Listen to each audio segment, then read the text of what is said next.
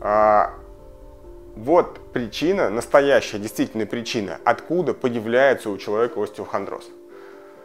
Так вот, все вот эти вот отдельно взятые симптомы, вся эта картина вместе, это и есть остеохондроз. Приветствую вас, друзья! Меня зовут Сергей Смоляков. Я являюсь специалистом по исправлению положения первого шейного позвонка. Также я являюсь э, специалистом по оздоровлению организма, по здоровому образу жизни, правильному питанию. Так что, если есть вопросы по этим темам, вы тоже, также можете задавать вопросы. Задавать свои вопросы, сказал. Ладно. А, итак, сегодня мы поговорим о такой вещи, как остеохондроз. Что такое остеохондроз? На самом деле я столкнулся с такой вещью. А, про людей я вообще не говорю, да, а, люди как бы они обыватели, им не обязательно разбираться в каких-то медицинских терминах или еще что, чем-то. Я хочу сказать о тех специалистах, которые работают в области здравоохранения, в области здоровья, о врачах, о массажистах, о каких-то людях, которые непосредственно имеют отношение к сохранению здоровья людей. И такое наблюдение. 80% из них не разбираются в том, что такое остеохондроз. Они не знают, что это такое. Поэтому я сегодня расскажу, что это такое, в том числе и для них.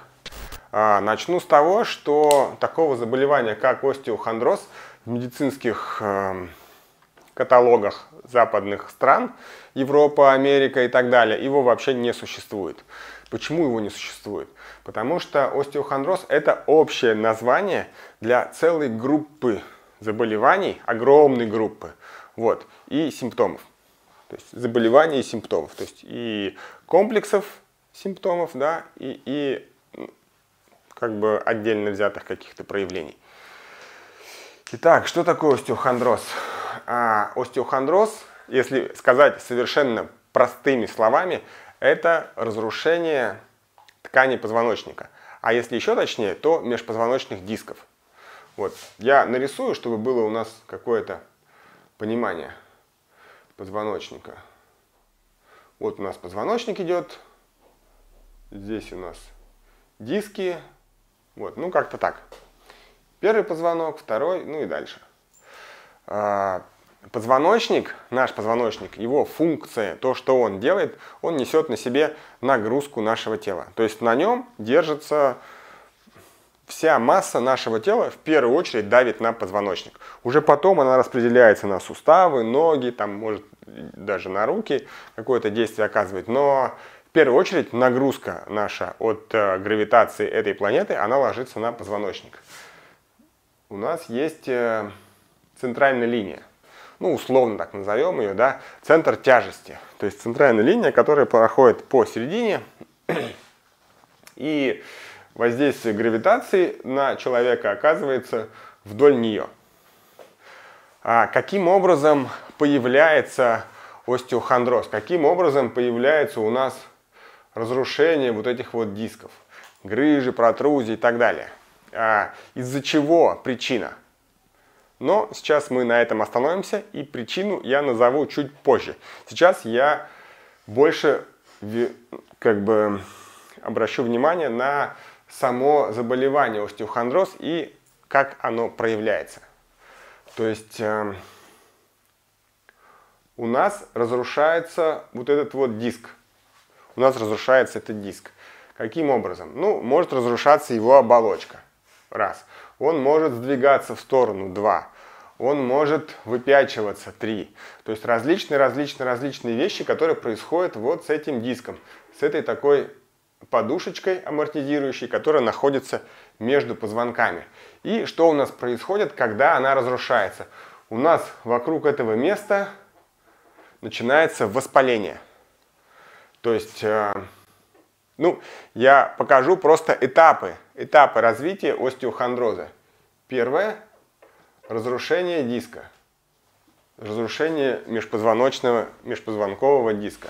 Вот, начинается с него – Второе, что происходит, воспаление в окружающих тканях. То есть э, у кого-нибудь из вас наверняка был прыщик на лице или на спине, или еще в каком-то месте, да, там в разных местах бывает. Кожное маленькое воспаление. Когда вы его трогаете или пытаетесь как-то выдавить или сковырнуть, да, что происходит? Там существует боль. То есть, если вы возьмете и щипнете себя за просто обычную часть тела, это может быть болезненно, но это в рамках терпимости. Если вы себя щипнете за какой-то участок, который воспален, там вам будет больнее. Соответственно, там начинается болезненный эффект. И третье, у нас появляется боль. Боль это непосредственно сигнал э, нашему организму, который наш организм подает, точнее, да, о том, что в нем что-то умирает или разрушается, или разлагается и так далее. Вот. То есть у нас появляется боль. Я такую молнию нарисую, это боль. Вот, то есть у нас разрушение дисков, потом вокруг воспаление, потом у нас происходит боль. А как у нас, у нас вдоль позвоночника, вот здесь вот, у нас идут мышцы. Мышцы, которые, ну, вдоль позвоночника расположены и не только. У нас все тело состоит из мышц. Вот. Но если в мышце или около нее находится боль, как мышца реагирует на боль? Мышца, она, если вот человека ударить сильно по мышце, да, вот есть некоторая припухлость небольшая. То есть мышца сокращается, мышца сжимается и становится очень твердой. Если человека ударить, то первая его реакция будет такая зажаться, сжаться, да, то есть и мы, это, собственно, наши рефлексы, которые нам эволюция подарила наша, но э, суть следующая, мышца напрягается, то есть четвертый симптом, который появляется, это гипертонус мышц, гипертонус, то есть мышца напряжена, напряжение мышц, то есть у нас будет вот здесь вот мышца, в этом месте она будет зажата, то есть она будет очень твердой. Если у нас мышца будет очень твердой, то пятая вещь, которая происходит, это нарушение кровообращения в этой мышце. Нарушение кровообращения. И не только кровообращения. Также нарушение лимфатического, ну, нарушение движения лимфы, также нарушения там будут э, много-много-много. Все жидкости, которые в мышце могли бы протекать, да, так как мышца зажата, то эти жидкости будут остановлены. Вот. Если у нас есть нарушение кровообращения, то у нас ну, такой э, как бы подпункт, наверное, будет. Да, наверное, можно будет сказать 5А. Так, это снижение метаболических, ну или точнее обменных процессов в клетках в этом месте. Грубо говоря, вот живет клеточка, она что-то кушает и что-то выделяет. Вот, соответственно, вот эти вот процессы э, питания и выделения, они замедлятся. То есть они станут медленнее и в итоге меньше. То есть у нас здесь нарушится метаболизм этой мышце, и здесь будут плохие как бы обменные. То есть э, шансы к выздоровлению, что здесь у нас улучшится состояние, да, они уменьшаются, начинают уменьшаться, потому что что может зарастить ранку? Что может убрать воспаление? Это кровь и лимфа. То есть должны прийти лимфоциты, должна убраться вся грязь, и все это должно промыться, прочиститься, и поврежденное место застроиться новым материалом. Вот. Все это делает э, ну, поток крови и поток лимфы. А если у нас мышца зажата, она не дает этим потокам свободно циркулировать. Соответственно, эти процессы, процессы заживления и выздоровления у нас уменьшаются. То есть у нас снижаются метаболические или обменные процессы. И начинаются дистрофические процессы. То есть дистрофические, когда а, часть клеток просто умирает. То есть умирают клетки в мышцах, умирают клетки ткани окружающие. То есть здесь идет разрушение организма. Очаг этот э, болезненный, он э, начинает распространяться на другие ткани. Перерыв. И, друзья мои, здесь происходит совсем уж страшная штука, да, а, здесь процесс замыкается. Так как у нас э, очаг распространяется, то у нас, вот здесь я так нарисую, боли становится больше. И, соответственно, если у нас боли становится больше, то у нас э, напряжение мышц становится больше, нарушение кровообращения становится больше. И все это движется вот так вот по кругу. С каждым разом все хуже, хуже, хуже. А, параллельно где-то здесь у нас еще выходят же нервы из э, позвоночника, да, которые идут в руки или там в ноги. Кто, например, встречал такое, что если, допустим, у вас болит поясница, то боль у нас идет в ногу. Да? Или если у нас где-то в шейном, в шейном, э, э шейно-плечевом поясе у нас остеохондроз, да, то боль идет в руку или рука не имеет. То есть у нас еще э, из-за вот этого воспалительного процесса у нас эта болезненность распространяется по нервному каналу. Но суть одна. Болезненность, гипертонус, нарушение кровообращения и вот это вот воспаление, оно распространяется. Так вот, все вот эти вот отдельно взятые симптомы, вся эта картина вместе, это и есть остеохондроз. А, еще раз, от чего начинается остеохондроз? Он начинается с разрушения дисков. Теперь мы вернемся к первичной причине а, до того, да, если это у нас первый шаг, вернее, первый этап болезни, разрушения диска, то возникает логичный вопрос, который не задает себе ни один врач никогда, и его даже учат не задавать себе этот вопрос, да, почему начинается разрушение дисков? Вот ключевой фактор. Давайте рассмотрим это. Сотрем.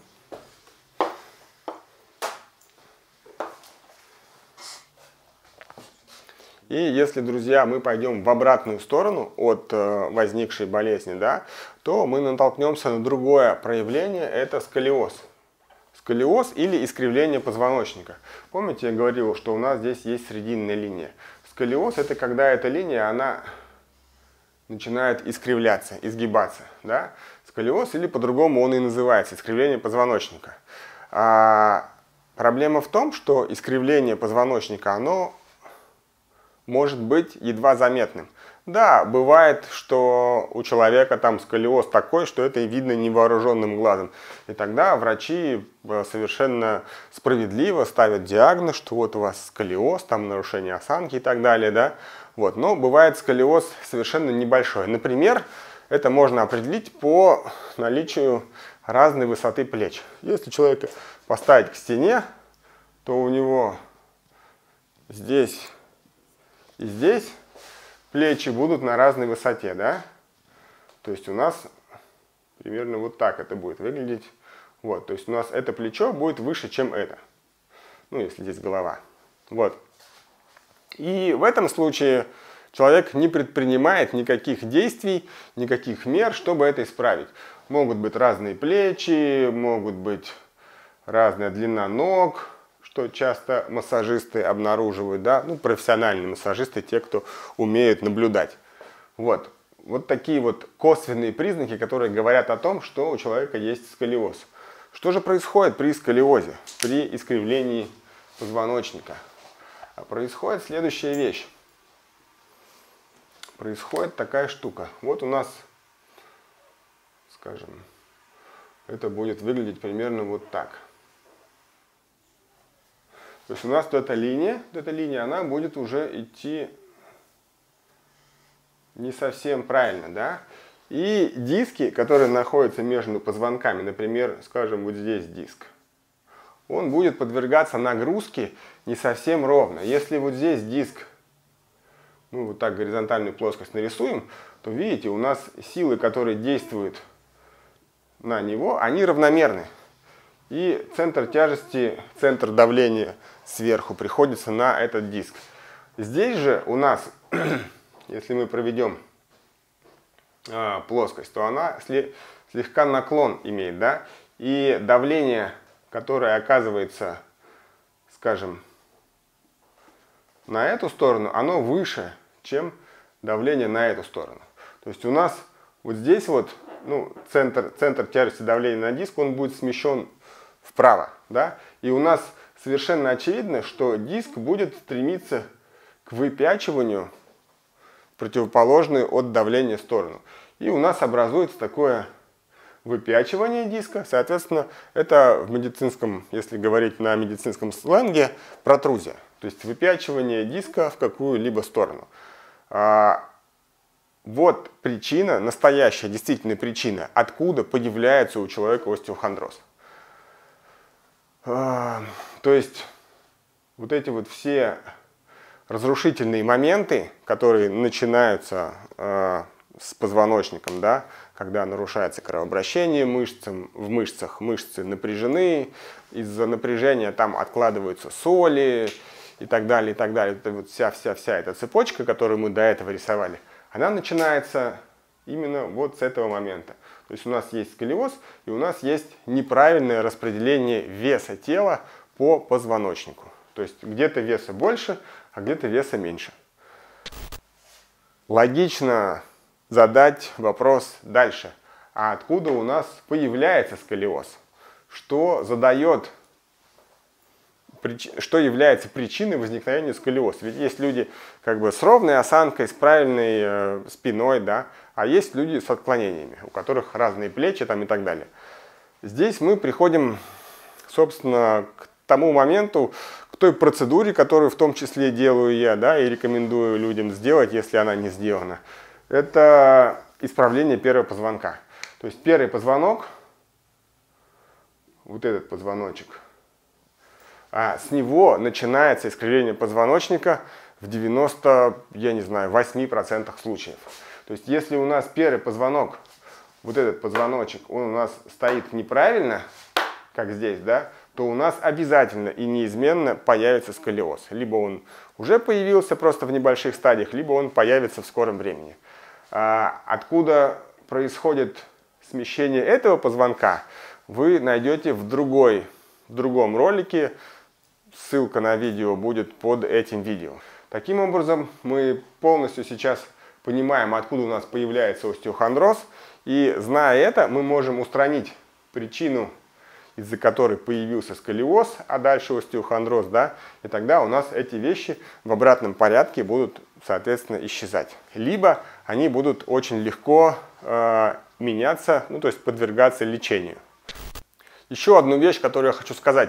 Друзья мои, а, я хочу, чтобы вы находились в общении. Поэтому, если какие-то вещи, возможно, я не, не раскрыл полностью, да, задавайте вопросы, не стесняйтесь, пишите в комментариях под видео. Я буду с удовольствием это разбирать и отвечать более широко. И второй момент. Те, кто уже сделали процедуру коррекции Атланта, тоже пишите свои отзывы. Пишите, помогло вам или не помогло любые отзывы, неважно. Мне это, ну, мне важно получать обратную связь, потому что множество людей, кто-то сомневается в необходимости процедур по исправлению сколиоза, да, кто-то сомневается в, исправ... ну, в применении процедур по исправлению атланта. Вот, это поможет им принять решение. Поэтому, друзья мои, я жду отклика, пишите свои комментарии, будем общаться. Я желаю всем здоровья, до новых встреч и не болейте, друзья мои.